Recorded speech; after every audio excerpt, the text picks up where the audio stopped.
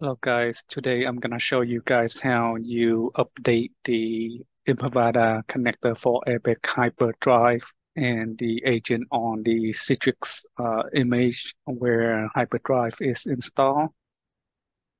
So we're gonna take a quick look of the current version installed here. We have uh, Epic Hyperdrive installed and in Imprivata Agent 7.9 hotfix 6 and the Epic connector for Epic Hyperdrive here. And today we're gonna update this two components. First, uh, we're gonna go to the registry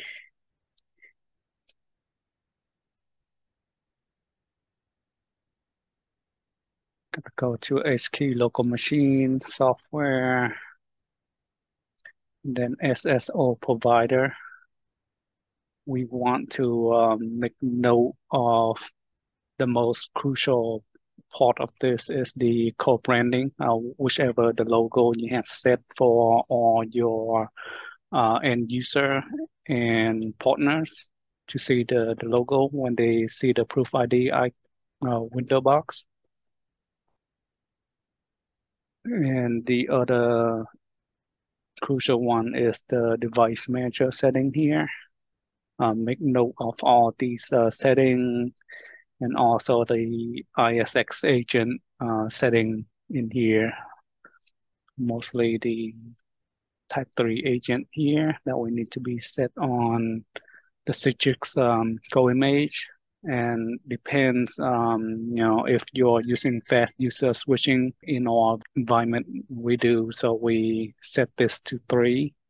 Um, but in the um, hyperdrive install uh, user guide they recommend to set that to one. So that's the difference for our environment. And we have the hook uh, init set for the application uh, hyperspace.exe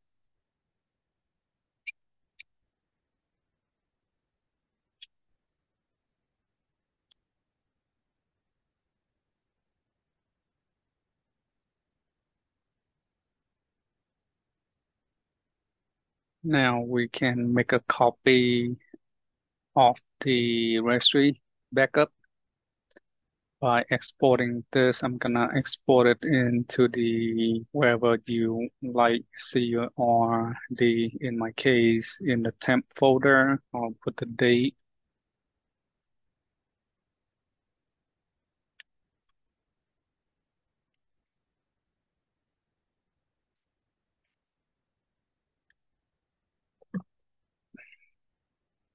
and I'll save it there. I'll minimize access this out and I'm gonna browse to the installation tab. Gonna make another window here. Gonna browse to my installation path. Gonna copy the latest connector, the script, and the latest agent matching the appliance level uh, version.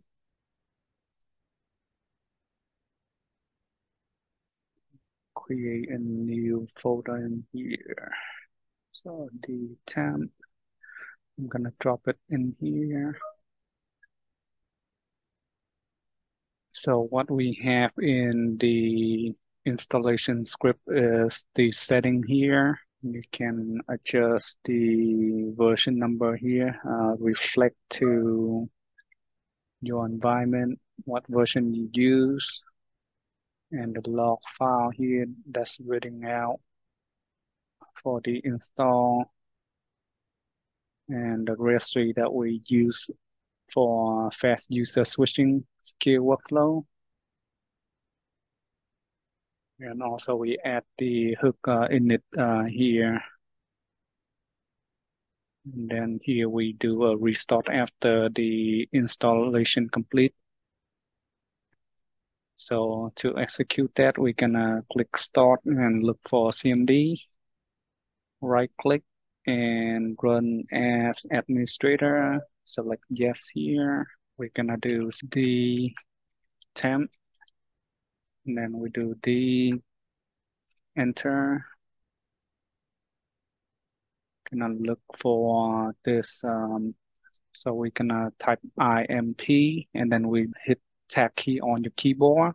Then we hit enter key. Gonna let this run through the install. The agent uh, almost finished installing here. There should be another CMD uh, coming out doing a couple of things. Okay, and it run the restart and we just need to click close here, let the server restart.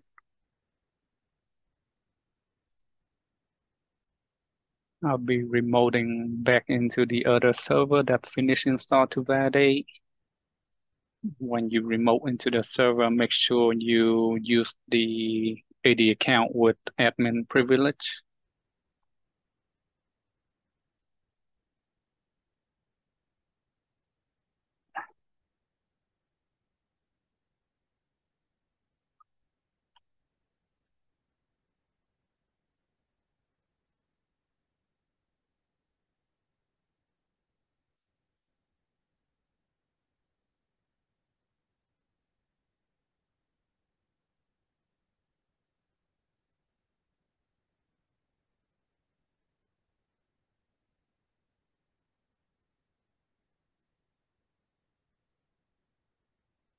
Now with the validation, we're gonna uh, right click on the start menu, go to app and features. We're gonna check the version. The agent is on 23.2. Connector uh, also on the target version that we're updating to. Now we need to check the registry making sure all of our setting uh, doesn't change.